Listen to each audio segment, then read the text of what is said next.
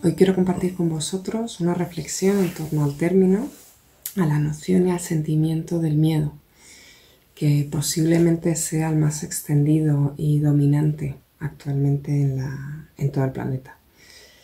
El miedo proviene del término latín metus, que hoy traduciríamos como temor, y significa angustia por un riesgo daño real o imaginario recelo o aprensión que alguien tiene de que le suceda algo contrario a lo que desea.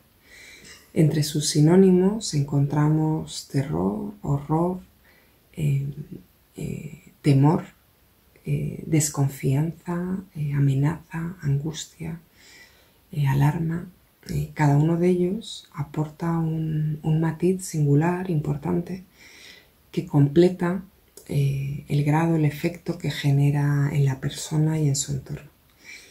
El miedo es una emoción que se caracteriza por ocasionar una desagradable sensación que proviene de la percepción de un peligro, eh, bien sea real o imaginario, eh, presente, futuro o incluso pasado.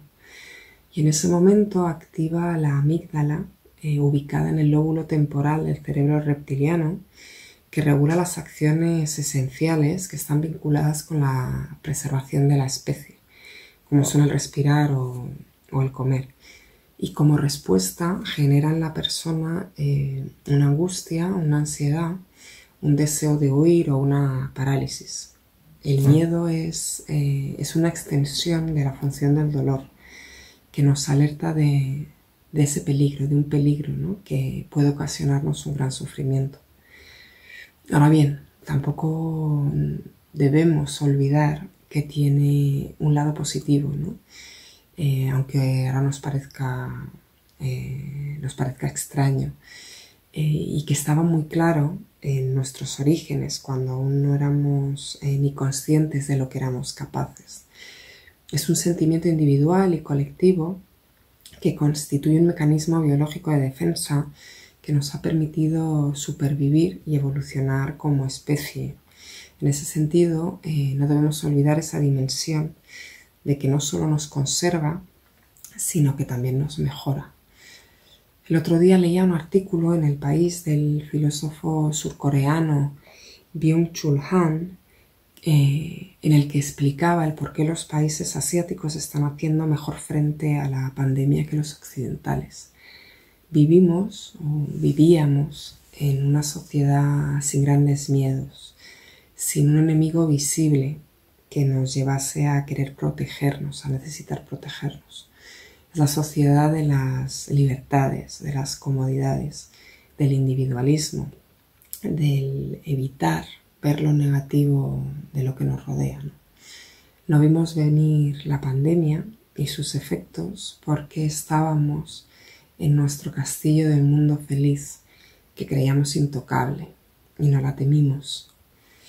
Y ahora, ahora los miedos son tantos. Eh, miedo a que nuestros seres queridos se enfermen, eh, miedo a no poder cuidarlos, miedo a no poder acompañarlos, miedo a que el dolor y la tristeza calen hondo, tan hondo en la gente que luego deba reconstruirse, miedo al después, eh, miedo a no poder proteger a los nuestros por una falta de recursos.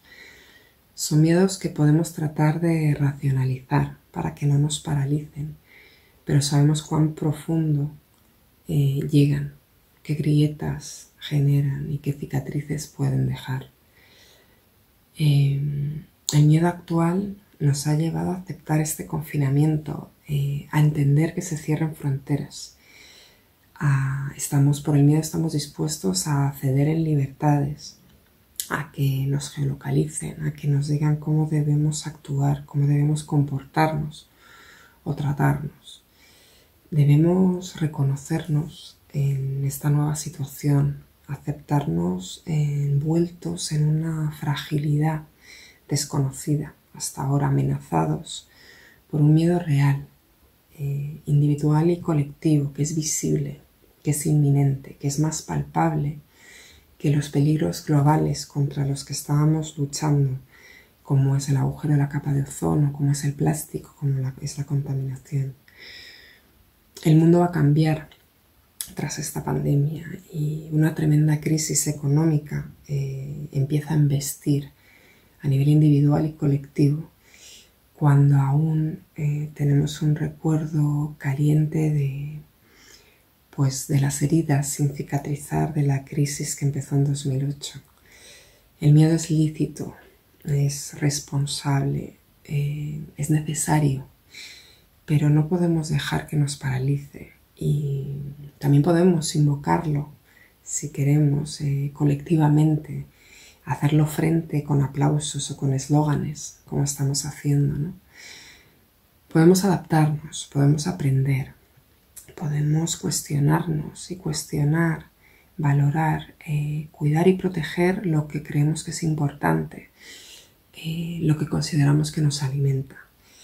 Y a pesar del miedo, a pesar del dolor, podemos evolucionar y podemos hacernos mejores yo solo espero que lo logremos.